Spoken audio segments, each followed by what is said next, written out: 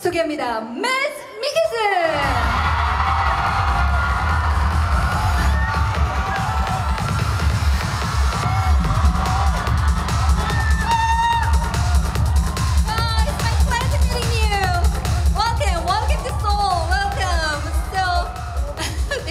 Oh.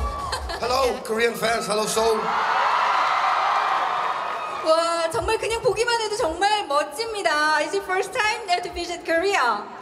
I was here yesterday as well, but that's first time. yes. 어제 잠, 어제 처음 이제 오셨다고 하시는데 how do you I think feel? it's amazing. I mean, I, I'm in a, in a country with the best food in the world and the nicest fans, so I, I can only be happy. 한국 와서 좋네요. 네, can you feel the popularity? Yeah. Yeah, I, I, I can. I'm very surprised. I mean, uh, we don't feel it when we are sitting in Scandinavia, but when, it, when once I get off the plane, I could feel it. There was quite a few fans waiting for me there, so I'm, I'm very, I'm very happy with that.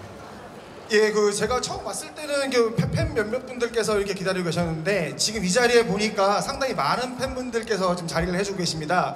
이런 걸 보니까 제가 좀 인기가 있지 않나라는 생각도 들고요. Well, I've always been a very big fan of uh, Park Chan-woo's films, um, of uh, Old Boy and Lady Vengeance, Sympathy for Lady Vengeance, The Handmaiden.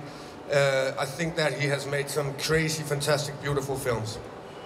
예, 개인적으로 박찬욱 감독님 상당히 좋아합니다. 그래서 박찬욱 감독이 만들었던 뭐 올드보이라든지 아니면 뭐 친절한 금자씨라든지 이런 영화들이 상당히 괜찮았고요.